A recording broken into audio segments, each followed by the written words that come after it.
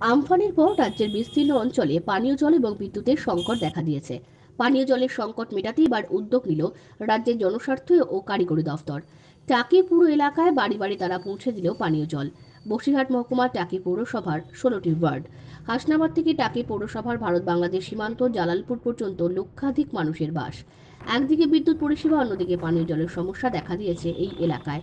সেই সমস্যা মেটাতেই এগিয়ে এলো রাজ্যের জনস্বার্থ ও কারিগরি দফতর পানীয় জল পেয়ে খুশি পৌর নাগরিকরা সরকারি এই উদ্যোগকে সাধুবাদ জানিয়েছেন।